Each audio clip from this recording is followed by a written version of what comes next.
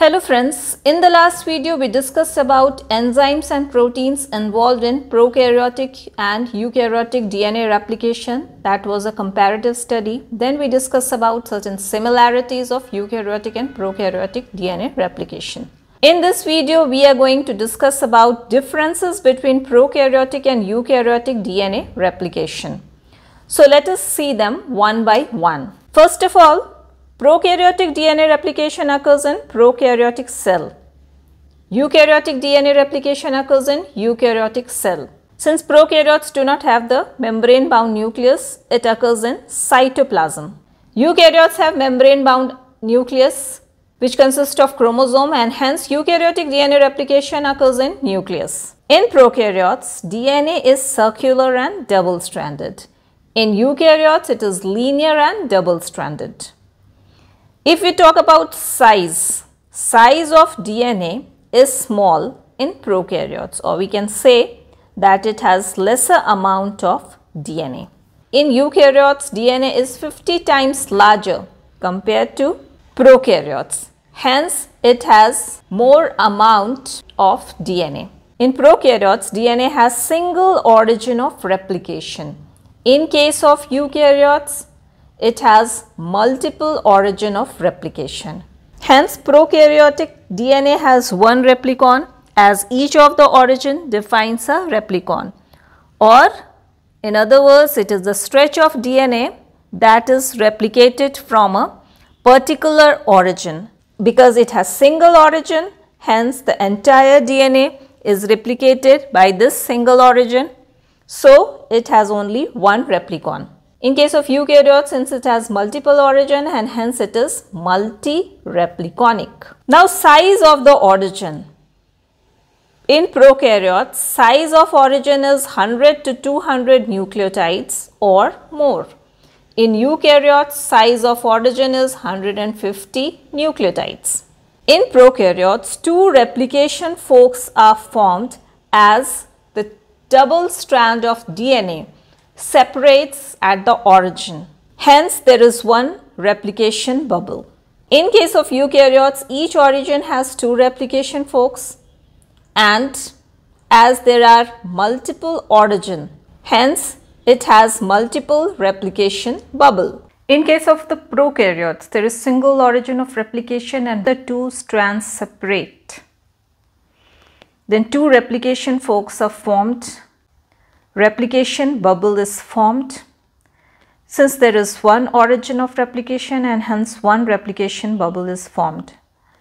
Strands in orange color are parental strands and strands in the green color are daughter strands. Two replication forks move away from origin in opposite direction to each other. In eukaryotes, there is multiple origin and at each origin, two replication forks are formed.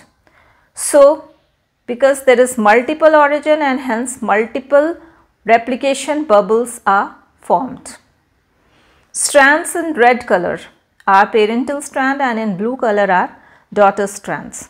Prokaryotic replication is simpler, but eukaryotic DNA replication is complex, hence regulation is required.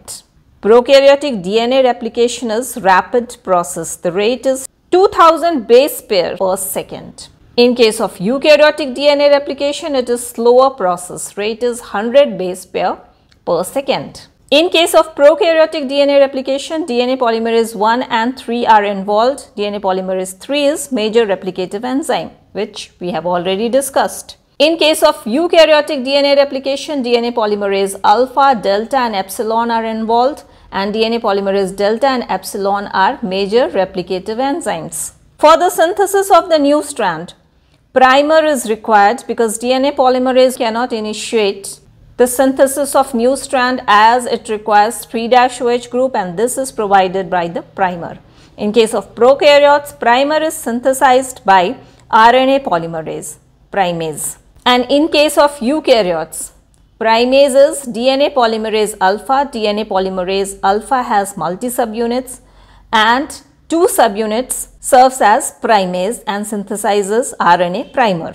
We know that lagging strand in DNA replication is synthesized in the form of small fragments known as Okazaki fragments. In case of prokaryotic DNA replication, larger Okazaki fragments which is about 1000 to 2000 nucleotides are produced and in case of eukaryotes, smaller Okazaki fragments are produced which is about 100 to 200 nucleotides long.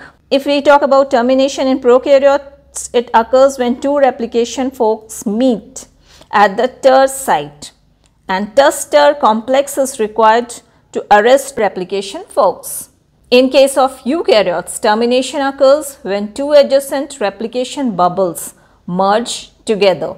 In prokaryotes, the two replication forks moves in opposite direction to each other and in the region that is diametrically opposite to origin of replication. There is TER site and when the two replication fork meets at TER sites or are arrested then the termination of replication takes place and as a result of which two circular double stranded DNA molecules are produced. In eukaryotes, when the two adjacent replication bubbles merge, then the termination of replication takes place. This we will discuss in detail in separate video on termination step of eukaryotic DNA replication. Since we have already discussed that prokaryotic DNA molecule is circular and hence no end replication is required. But in case of eukaryotes, end replication occurs by telomerase enzyme as DNA molecule is linear. Final product of DNA replication in prokaryotes is two circular DNA molecule. So, this is the single double stranded circular DNA molecule and after the replication two circular double stranded DNA molecule is obtained. In case of eukaryotes, final product is two sister chromatids. This is chromosome, this is centromere. And after the DNA replication in the S phase of cell cycle, we get two sister chromatids that are attached at the centromere. This cell cycle topic we have already discussed in separate video. You can refer it. The link is given in the description box.